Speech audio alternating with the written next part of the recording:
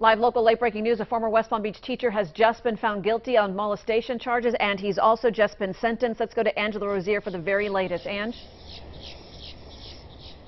That's right, life sentencing here for former Rosarian Academy teacher Stephen Budd.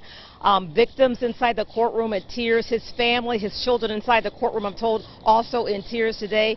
He will also be uh, on the um, convicted offense sex offenders list. Uh, again, all counts guilty. The first two counts he was sentenced to life. The other counts 25 years up to life.